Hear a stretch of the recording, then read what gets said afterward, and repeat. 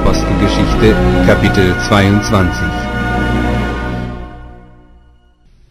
Ihr Männer, liebe Brüder und Väter, höret mir zu, wenn ich mich jetzt vor euch verantworte. Da sie aber hörten, dass er auf Hebräisch zu ihnen redete, wurden sie noch stiller. Und er sprach, Ich bin ein jüdischer Mann, geboren zu Tarsus in Zilizien, aber erzogen in dieser Stadt, zu den Füßen Gamaliels unterwiesen mit allem Fleiß im väterlichen Gesetz, und war ein Eiferer für Gott, gleich wie ihr heute alle seid. Ich habe die neue Lehre verfolgt bis auf den Tod. Ich band und überantwortete ins Gefängnis Männer und Frauen, wie mir auch der hohe Priester und die Ältesten alle bezeugen. Denn von ihnen empfing ich Briefe an die Brüder und reiste nach Damaskus, dass ich auch, die da selbst waren, gebunden führte nach Jerusalem, damit sie bestraft würden. Es geschah aber, da ich hinzog und nahe an Damaskus kam, umleuchtete mich plötzlich um den Mittag ein großes Licht vom Himmel. Und ich fiel zu Boden und hörte eine Stimme, die sprach zu mir, Saul, Saul, was verfolgst du mich? Ich antwortete aber, Herr, wer bist du? Und er sprach zu mir, Ich bin Jesus von Nazareth, den du verfolgst. Die aber mit mir waren, sahen das Licht, die Stimme aber des, der mit mir redete, hörten sie nicht. Ich sprach aber, Herr, was soll ich tun? Und der Herr sprach zu mir, Stehe auf und gehe nach Damaskus, da wird man dir sagen von allem, was dir zu tun verordnet ist. Als ich aber wegen der Klarheit dieses Lichtes nicht sehen konnte, ward ich an der Hand geleitet von denen, die mit mir waren, und kam nach Damaskus. Es war aber ein gottesfürchtiger Mann nach dem Gesetz, Ananias, der einen guten Ruf hatte bei allen Juden, die daselbst wohnten. Der kam zu mir und trat her und sprach zu mir, Saul, lieber Bruder, sei sehend.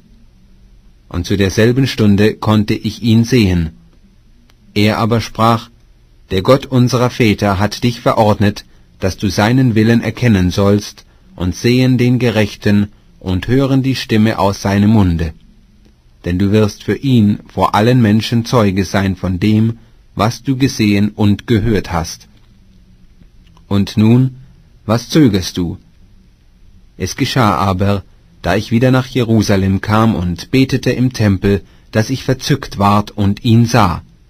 Da sprach er zu mir, Eile und mache dich behende von Jerusalem hinaus, denn sie werden nicht annehmen dein Zeugnis über mich.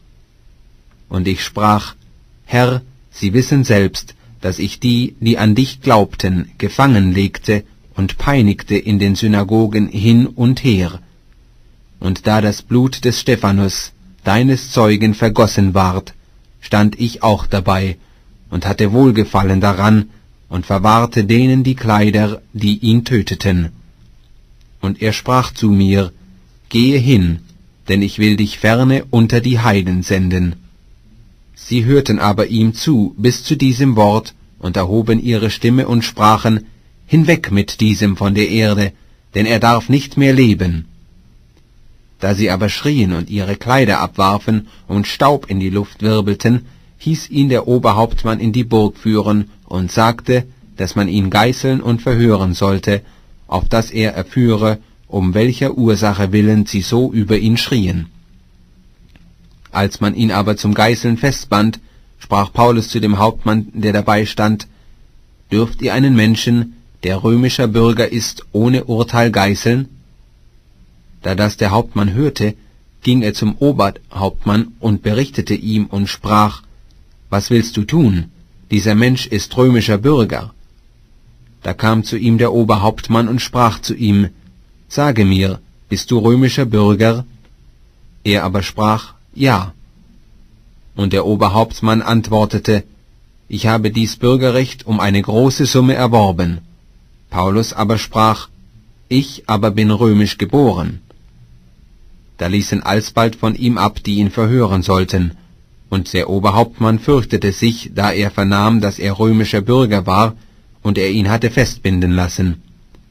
Des andern Tages wollte er sicher erkunden, warum er verklagt wurde von den Juden, und ließ ihn losbinden und hieß die Hohenpriester und den ganzen Hohen Rat zusammenkommen und führte Paulus hinunter und stellte ihn vor sie